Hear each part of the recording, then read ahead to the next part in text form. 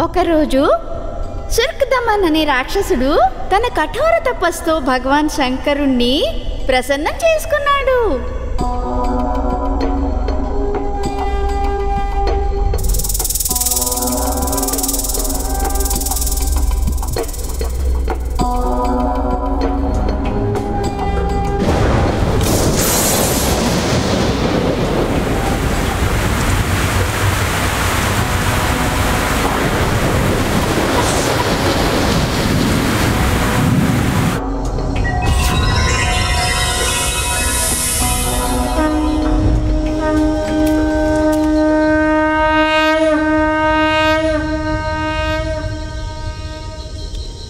మేము నీ తపస్సుకి ప్రసన్నులమయ్యాం సుర్కధామన్ కోరుకో ఏం వరం కావాలో.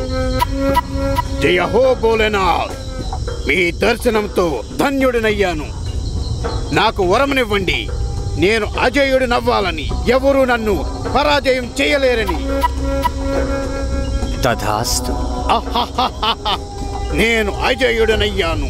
ఇక నన్నెవ్వరు ఓడించలేరు.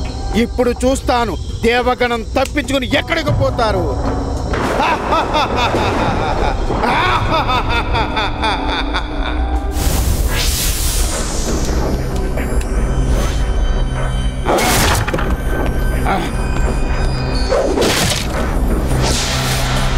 శివుని యొక్క ఈ వరంతో దేవలోకము కష్టాల్లో పడింది.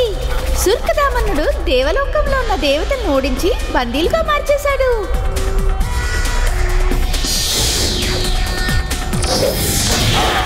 ఇంద్రదేవుడు ఎంతో కష్టంతో తన ప్రాణాలతో తప్పించుకుని పారిపోయారు.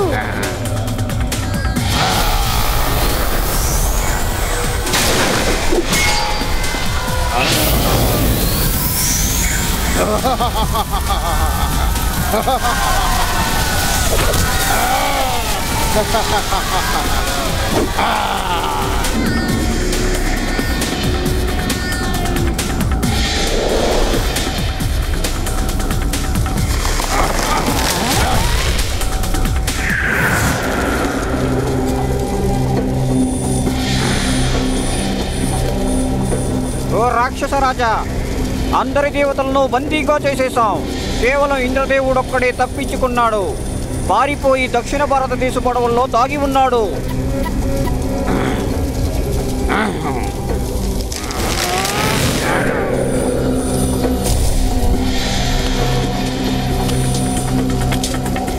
అతన్ని కూడా వెతికి బంధించు. నేను కైలాస పర్వతానికి వెళ్తున్నాను. నా ఇష్ట దైవమైన శంకరుని కలవడానికి.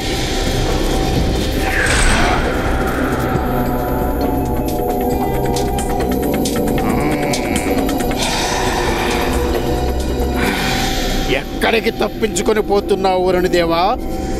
ఒకవేళ నువ్వు నీ క్షేమం కోరుకుంటే ఆగిపో. నేను నిన్ను బంధించను. నిజంగా? నువ్వు కూడా మిగిలిన దేవతల బందీగా అవ్వకూడదనుకుంటే నేను చెప్పిన పని చెయ్యి. పనా? ఏం పని చెయ్యాలి? నా కోపానికి భయపడి ఇంద్రుడు దక్షిణ భారతంలో ఎక్కడో దాగి ఉన్నాడు. దక్షిణ భారతవాసులు వాడికి శరణు ఇచ్చి నాకు నమ్మకం ద్రోహం చేశారు. దీనికి గాను వాడికి శిక్ష పడుతుంది. నువ్వు వాళ్ళకి మేఘాల్ని పంపించడం ఆపేయి. ఒక్క చుక్క నీళ్ళు కూడా వాళ్ళకి లభించకూడదు. నీళ్ళు లేక సతమతమైతే వాళ్ళు నాకు ఇంద్రుని అప్పగిస్తారు. నేను చెప్పినట్లుగానే నువ్వు చెయ్యి. లేకపోతే నువ్వు కూడా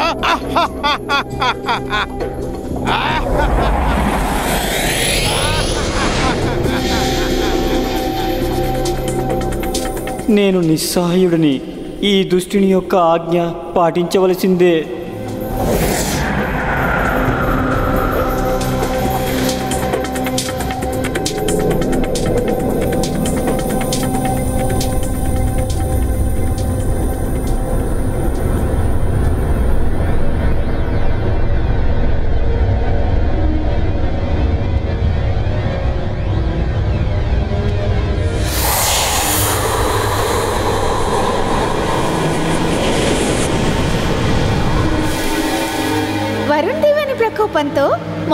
దక్షిణ భారతదేశంలో కరువు ఏర్పడింది.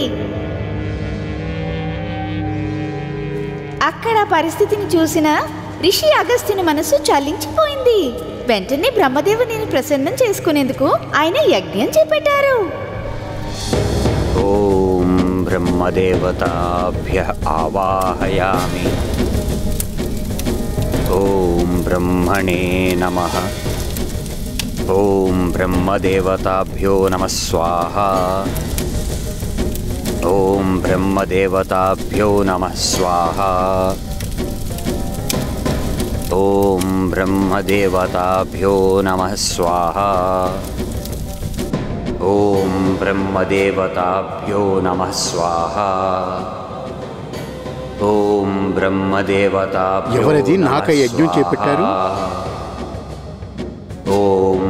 స్వాహా. ఓం బ్రహ్మదేవతాభ్యో నమ స్వాహ ఓం బ్రహ్మదేవతాభ్యో నమ స్వాహ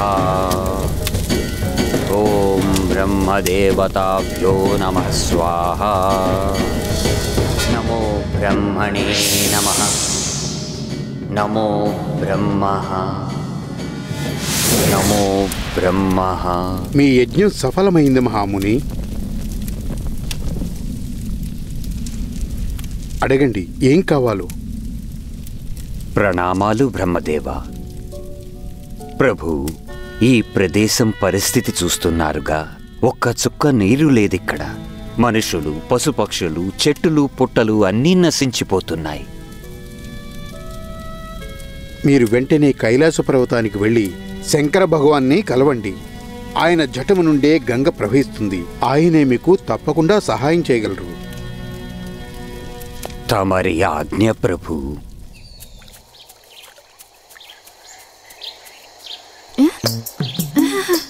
మూషిక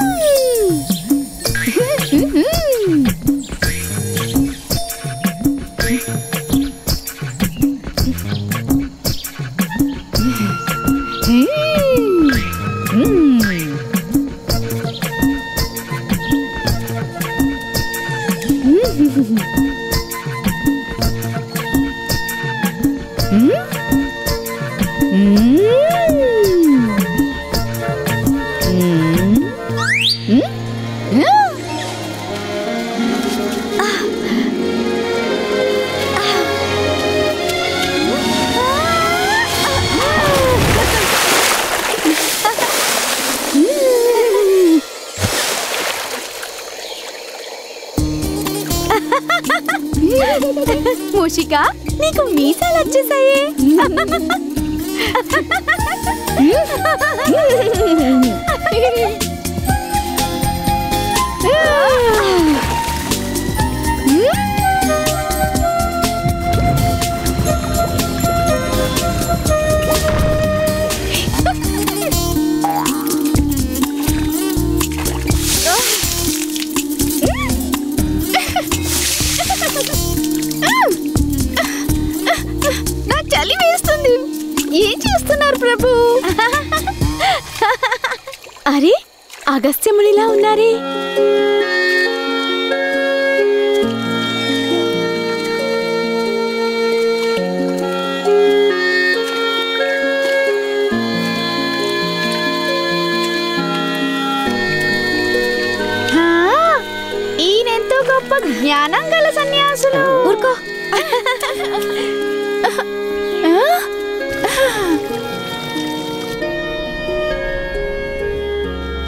అనుమతినియండి ప్రభు. మహామునుల వారు గంగాజలం తీసుకుని దక్షిణ భారతం వెళ్తున్నారు. మనం ఎందుకు వెళ్ళకూడదు? నేను దక్షిణ భారతదేశాన్ని ఇంతవరకు చూడలేదు. ఆయన అడగండి. వారు మన్ని కూడా తీసుకెళ్తారా? అడిగితే ఎందుకు తీసుకెళ్తారు? మనమే గుట్టు చప్పుడు కాకుండా వెళ్దాం. అంత దూరం అయితే నేనైతే అలసిపోతాను ప్రభు. సోమరిపోతు. పద చాలా బాగుంటుంది.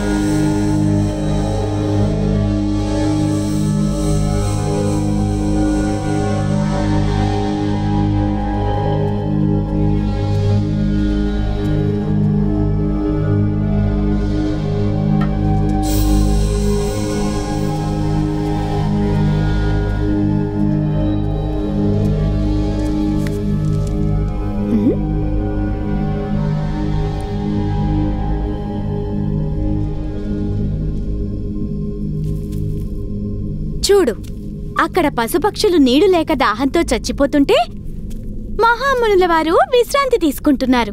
నేనైతే నడిచి నడిచి చాలా అలసిపోయాను. మునివర్యులు కూడా అలసిపోయారు. ఒకవేళ నిద్రపోతే ఇంకెంత సమయం వ్యర్థమవుతుందో? హా కానీ మనం మాత్రం ఏం చేయగలం? నాకు ఒక ఉపాయం తోచింది. నువ్విక్కడే కూర్చుని తమాషా చూడు.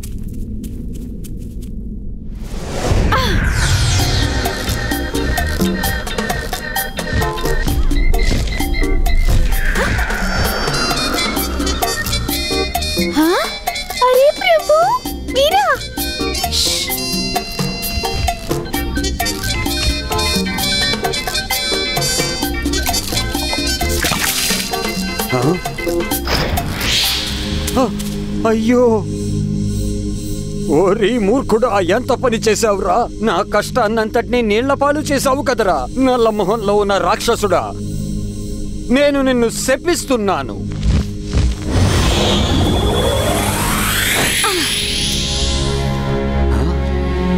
అరే బాలగణేష్ మీరా? నన్ను క్షమించండి మహాముని. సమయం వ్యర్థమవుతోందని నేనే కావాలని మీ పని సులభం చేశాను. అటు చూడండి.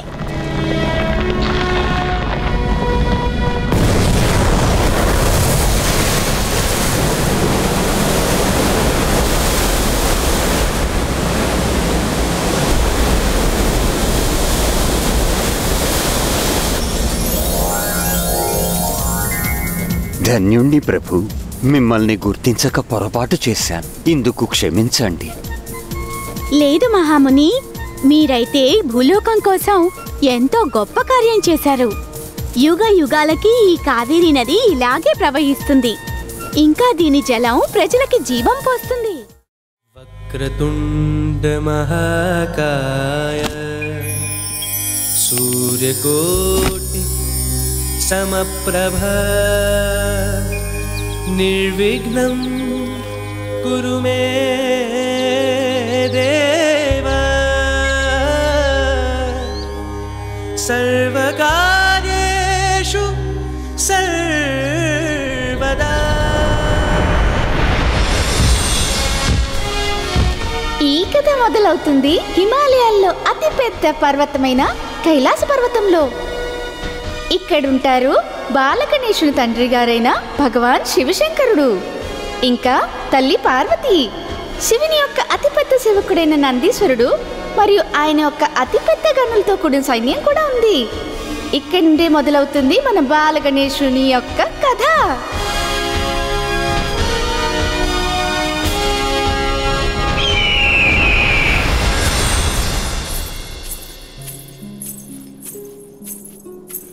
ఒకరోజు తల్లి పార్వతీదేవి నందీశ్వరుడితో అన్నారు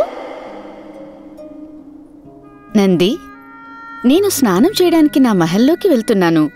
నేను ఆజ్ఞాపించేంత వరకు ఎవ్వర్నీ మహల్లోనికి రానివ్వద్దు. మీ ఆజ్ఞ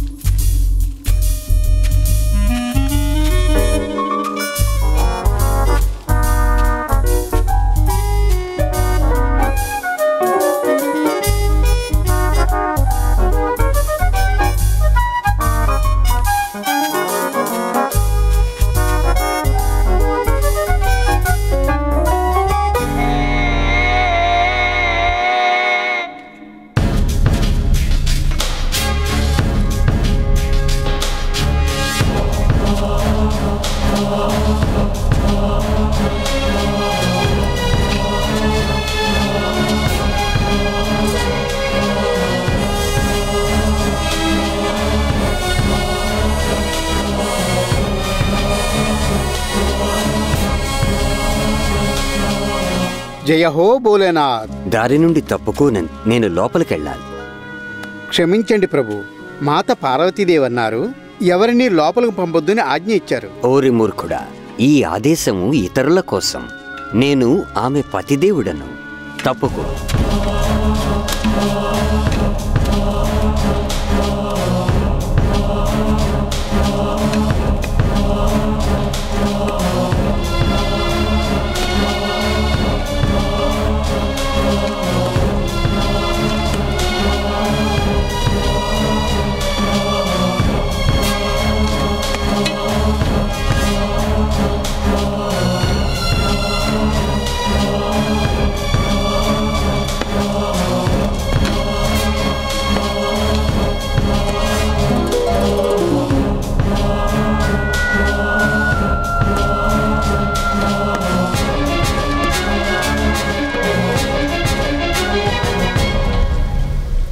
ప్రియా?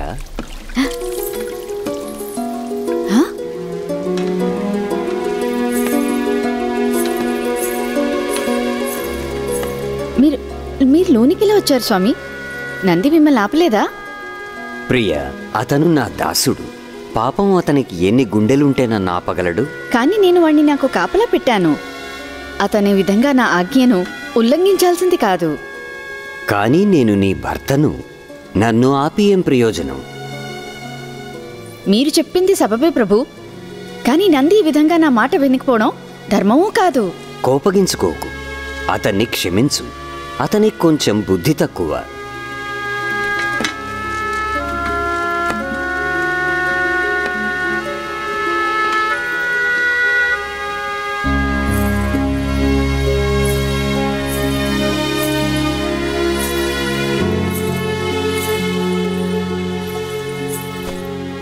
లేదు. నంది చేసింది సరికాదు. వాడు మాత్రం ఏం చేయగలడు? స్వామి భక్తి కలవాడు. వాడికి తమ స్వామిని ఆపే ధైర్యం ఉండి ఉండదు. నాకు ఎలాంటి గనుడు కావాలంటే ఎవడైతే బుద్ధివంతుడో ధైర్యవంతుడో మరియు ఆజ్ఞ పాటించేవాడై ఉండాలి. నేనే స్వయంగా అలాంటి గనుని తయారు చేస్తాను.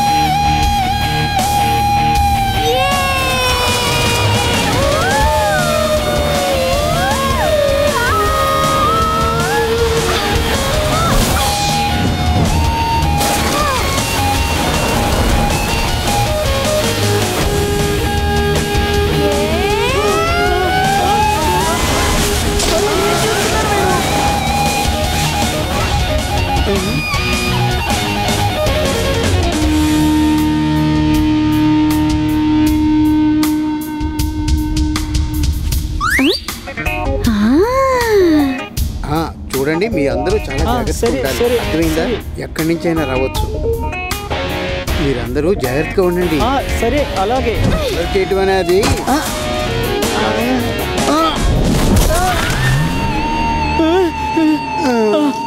లేవండి. ఇక్కడ. రా, రా, రా, రా, రా.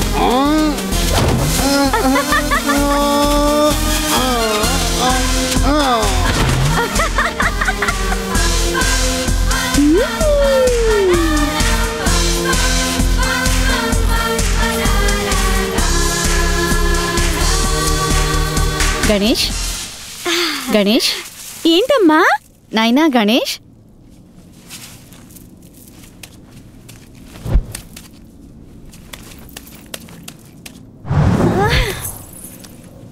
నాయనా గణేష్? చెప్పమ్మా. చూడు నాయనా నేను స్నానాల గదిలో స్నానం చేయడానికి వెళ్తున్నాను. నువ్వు ద్వారం దగ్గర కూర్చో. నేను చెప్పేంత వరకు ఎవ్వరినీ లోపలికి రానివ్వద్దు. ఆజ్ఞ మాత. నేను ఎవరినీ లోపలికి రానివ్వను. మీరు నిశ్చింతగా వెళ్ళి స్నానం చేయండి. కానీ ఆ ఆటపాటల్లో పడి మర్చిపోవు కదా? లేదమ్మా. మీరు చింతించకండి.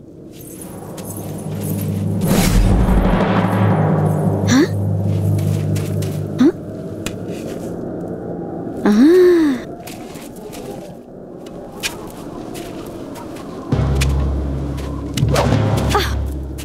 క్షమించండి ప్రభు మీరు లోపలికి వెళ్ళకూడదు. ఓ పసిబాలుడా నువ్వెవరివి? ఇలా నా దారిని ఎందుకు ఆపుతున్నావు? నేను గౌరీపుత్రుడినైన గణేశుణ్ణి. నేను మాత ఇచ్చిన ఆదేశాన్ని పాలిస్తున్నాను. ఆమె ఆదేశమేమిటంటే ఆమె ఆజ్ఞాపించేదాకా ఎవరిని లోపలికి పంపొద్దని. గౌరీపుత్రుడా అలాగైతే ఈ ఆజ్ఞ నాకు వర్తించదు. ఎందుకంటే నేను గౌరికి భర్త అయిన శివశంకరుణ్ణి ద్వారం నుండి తప్పుకో బాలక. కుదరదంటే కుదరదు. ఎప్పటిదాకా అమ్మ ఆజ్ఞాపించదో నేను ఎవరినీ లోపలికి వెళ్ళనివ్వను.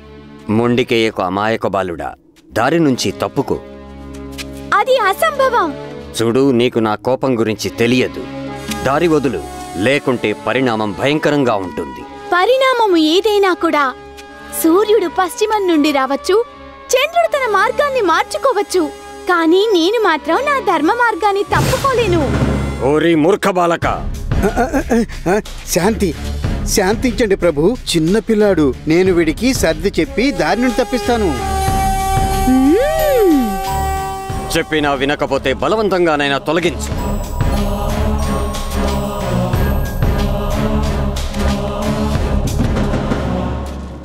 నాయనా గణేష్ నీకు నా స్వామి కోపం గురించి తెలియదు మాటలతో చెప్పడం కాదు. ధైర్యం ఉంటే నన్ను తొలగించి చూపించు. నన్ను రెచ్చగొట్టొద్దు చెప్పేది విను. పిరికి పంద వినువు పిరికి పంద. ఓహో అలాగైతే నా శక్తిని ఎదుర్కొని చూపించు.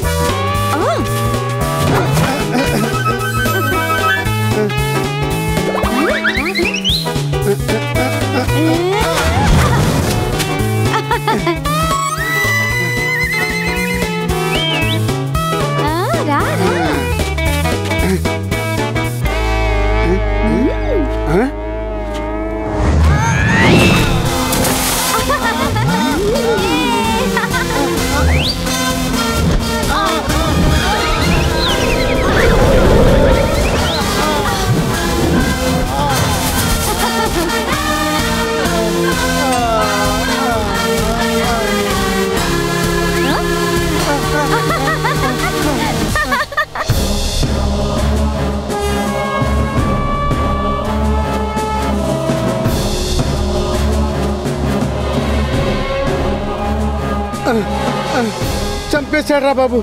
నన్ను చంపేశాడు. సేనాధిపతి నువ్వు నీ సైన్యంతో వెళ్ళు. ఆ మూర్ఖ బాలుణ్ణి ఓడించు వెళ్ళు. ఆజ్ఞ మహాప్రభు పదండి. అదిగో.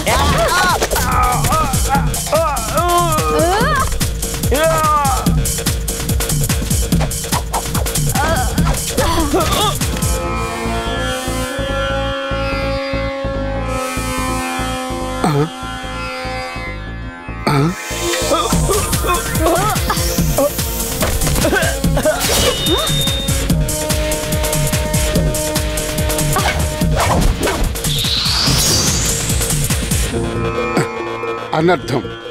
ఘోరమైన అనర్థం. భగవాన్ శంకరుడు కోపంలో ఈ అనర్థం చేస్తున్నారు.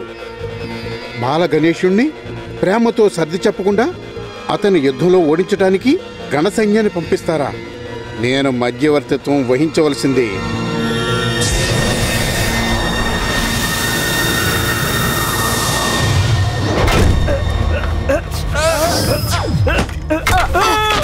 ఆగండి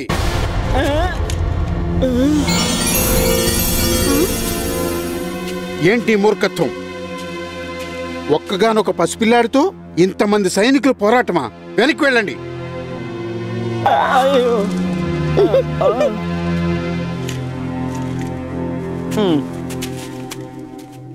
నాయనా గణేష్ నువ్వు కూడా వీళ్ళలా మొండిగా ప్రవర్తించకూడదు.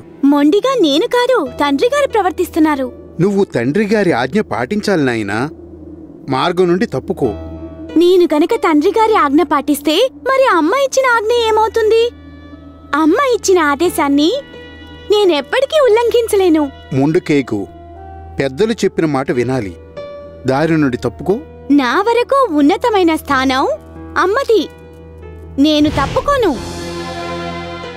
వీడిని దారి నుండి తప్పించాలి.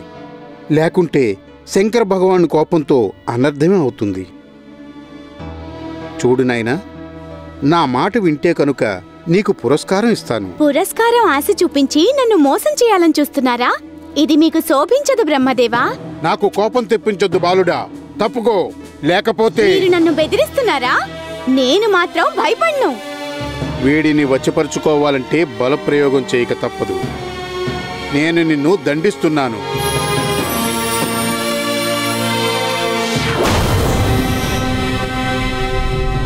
ఈ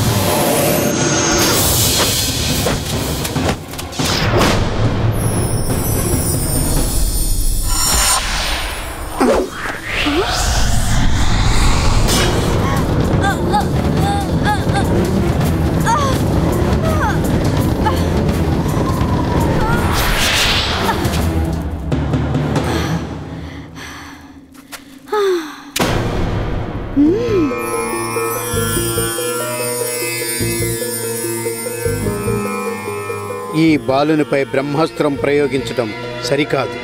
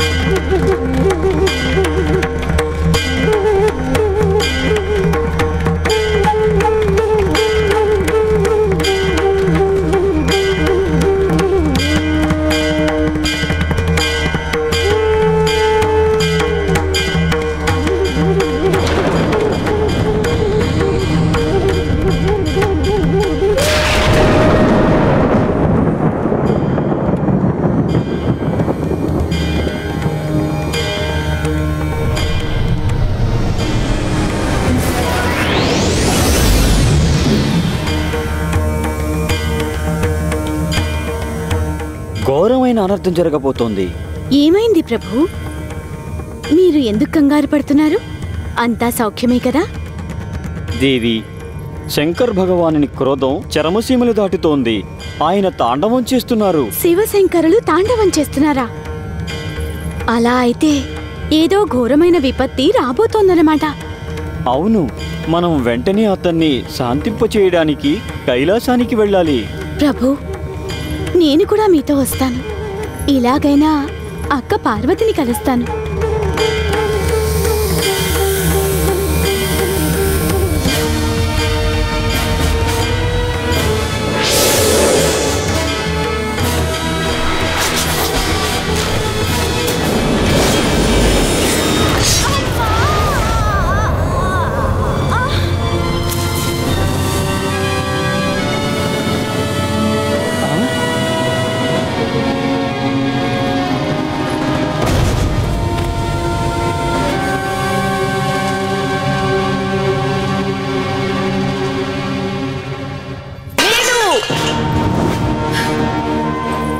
స్వామి నా పుత్రుణ్ణి వధించారా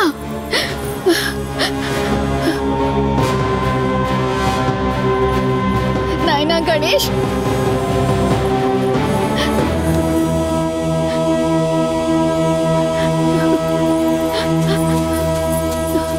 నాయనా గణేష్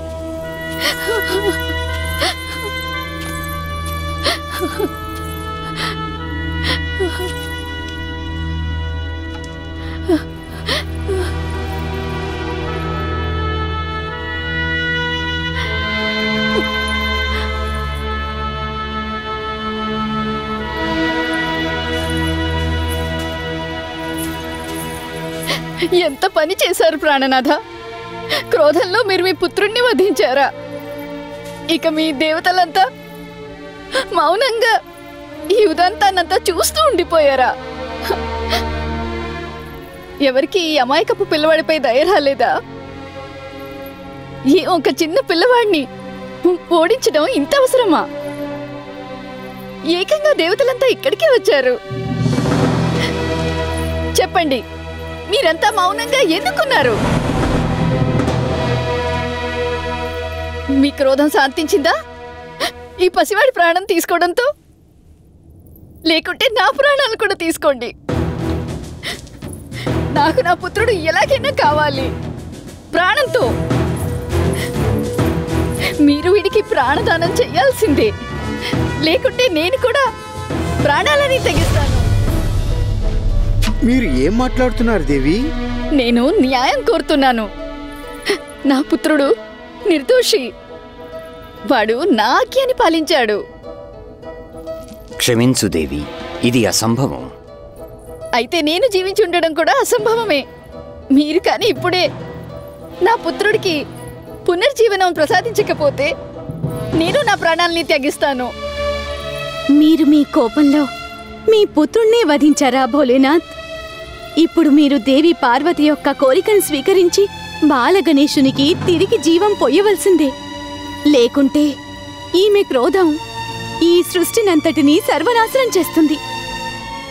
వాస్తవంలో దేవి పార్వతి ఆగ్రహం అనుచితం కాదు.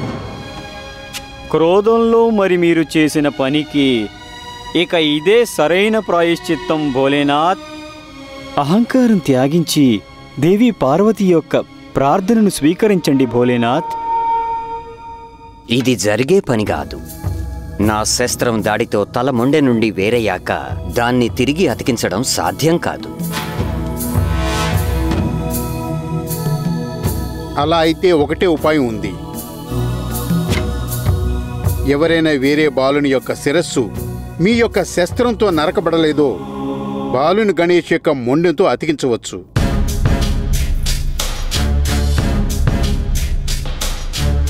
ఆలోచించి సమయం వృధా చేయొద్దు. వెంటనే మీ గణాలకు ఆదేశించండి. వెళ్ళండి. వెళ్ళి అలాంటి బాలుని తలని తీసుకురండి. ఎవరి ముఖమైతే ఉత్తర దిశలో ఉంటుందో ఇంకా ఎవరి తెల్లైతే తన పుత్రుడి వైపు వీపు పెట్టి పడుకునుంటుందో. ఆజ్ఞ ప్రభు. ఆలస్యం చేయకండి. సమయం మించిపోతే ఈ బాలుడిక ప్రాణం పొందలేడు. ఆజ్ఞ. పదండి.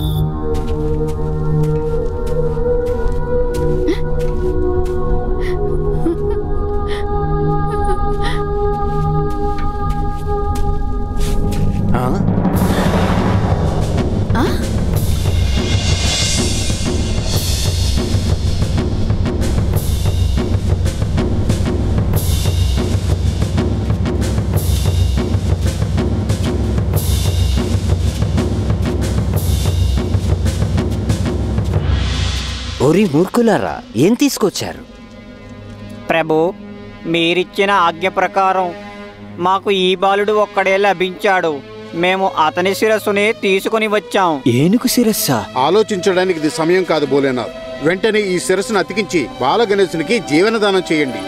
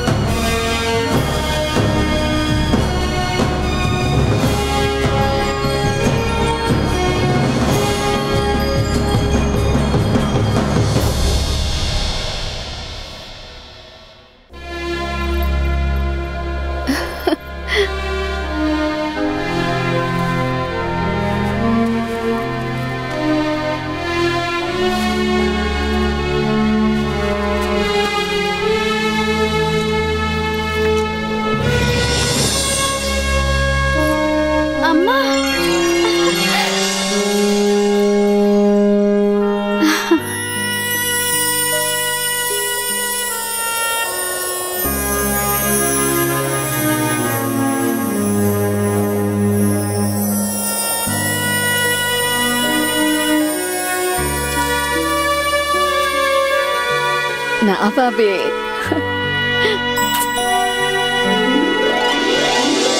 చూసావా దేవి? ఇతడు జీవించాడు. మీరు ఇతనికి ప్రాణాలైతే ఇచ్చారు ప్రభు. కానీ ఈ రూపంలో వీణ్ణి చూసి అందరూ ఎగతాళి చేస్తారేమో? చింతించకు ప్రియా. అలా ఏమీ జరగదు. నేను ఇతనికి వరం ఇస్తున్నాను యుగ యుగాలకి ప్రజలు ఇతనికి పూజలు చేస్తారు. ఈ అద్భుత బాలుడు భూవాసులకి శుభం చేస్తాడు.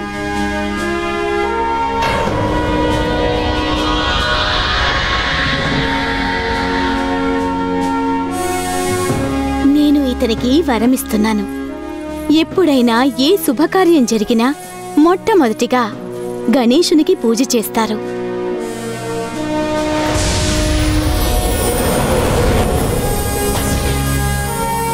ఈ బాలుడు విద్య మరియు బుద్ధికి దాత అవుతాడు. ప్రతి మందిరంలో ఇంట్లో ఇతనినే స్థాపిస్తారు. ప్రజలు ఎల్లప్పుడూ లడ్డూలతో నైవేద్యం పడతారు.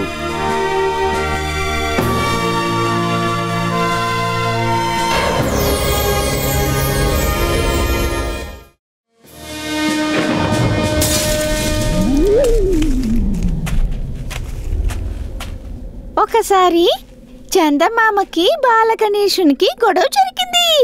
అది రాత్రి వేళ. నాలుగు వైపులా మంచు కొండలలో మంచు బాగా పడి ఉంది. పదా త్వరగా పదా.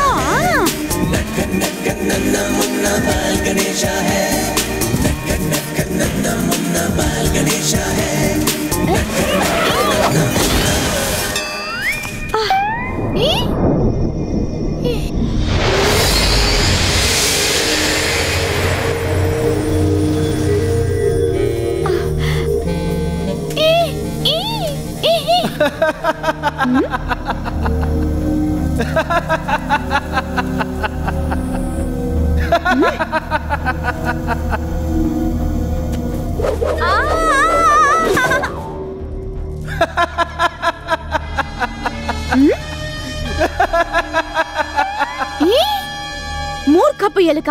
నన్ను ఎందుకు పడేశావు? నేనేం చేయను? ఈ సర్పం మార్గ మధ్యలో వచ్చేసింది. క్షమించండి ప్రభు క్షమించండి ప్రభు నేను కొంచెం తొందరలో ఉన్నాను. నా లడ్డూలన్నీ కింద పడేశావు.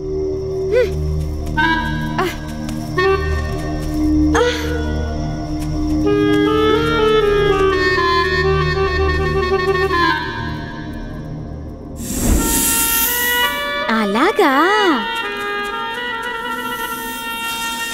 ఇప్పుడు నువ్వే వీటిని జాగ్రత్తగా చూసుకో.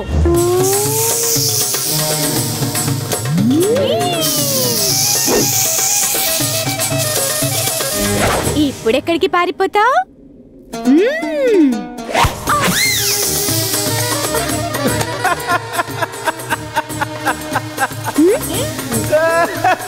ప్రభు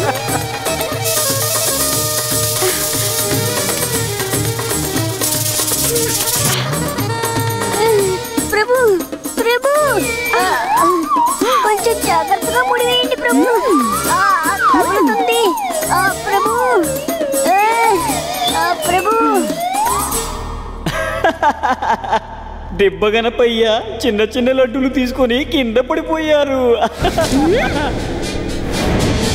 నన్ను ఎగతాళి చేస్తావా దుష్ట చందమామ? నీ ముఖం దేన్ని చూసి నువ్వు గర్వపడుతున్నావో అది ఎందుకు పనికి రాకుండా పోతుంది ప్రభు!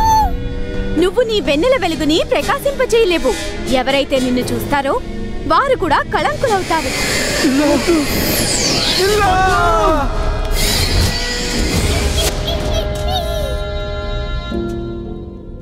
నన్ను క్షమించండి ప్రభు. నేను దురదృష్టవశాత్తు నోయి జారాను. నాకెటువంటి దురుద్దేశమూ లేదు. నన్ను క్షమించండి. ఈ నల్లటి ముఖముతో నేను ఎలా బ్రతికేది? మీ హృదయం విశాలమైనది. నేను మీ శరణ కోరుతున్నాను భగవాన్. నా వెలుగును తిరిగి నాకు ఇవ్వండి నన్ను క్షమించండి ప్రభు. క్షమించండి.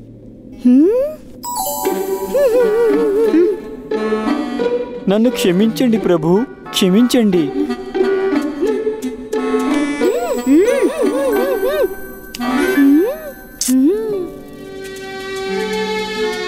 లే చంద్రుడా నీవు స్వయాన దేవతవు. ఒకరి శరీర వైకల్యాన్ని చూసి హేళన చేయడం మీకు శోభించదు. మీరు నిజం చెప్పారు బాలగణేష్. భవిష్యత్తులో నేను ఇలాంటి తప్పు చెయ్యను. నన్ను క్షమించండి ప్రభు. అవును ప్రభు. చందమామ వెన్నెల లేకపోతే రాత్రిలో ఆనందమే ఉంది. క్షమించండి ప్రభు. చంద్రదేవా నేను మీకిచ్చిన శాపం పూర్తిగా వెనక్కి తీసుకోలేను.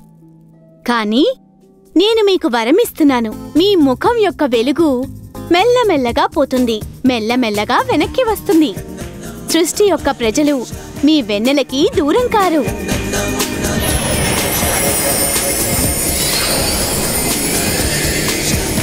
కృతజ్ఞుడను. చాలా చాలా కృతజ్ఞుడను.